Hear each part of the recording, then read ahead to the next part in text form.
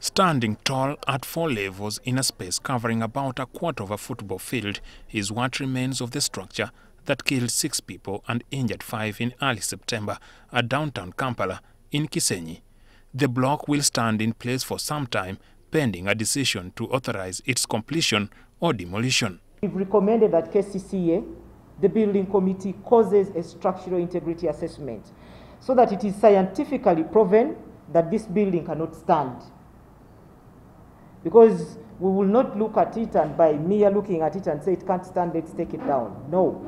It has to be scientifically proven that it cannot stand and therefore we take it down. Technical investigations conducted in the aftermath of the accident cemented the earlier suspected use of substandard materials.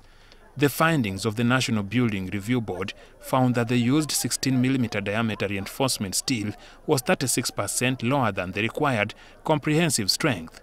The used concrete gave only 15% of the expected minimum concrete strength. If we had gotten an engineer that is regulated under the Engineers Registration Act as having, uh, having uh, participated on the project and therefore being part of the causes of the accident. Now that would be the jurisdiction of the engineers. With all the evidence, the authorities are yet to have anybody answer for the lives lost as a result of the recklessness. So for us, we identify what caused the problem. And the cause of the problem we have mentioned.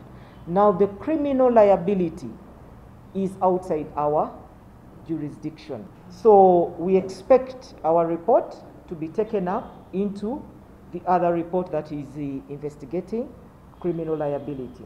Kampala Capital City Authority Building Committee is implicated by the investigations for failing to carry out inspection of the development project authorities confirmed to be owned by businessman Haruna Sentongo.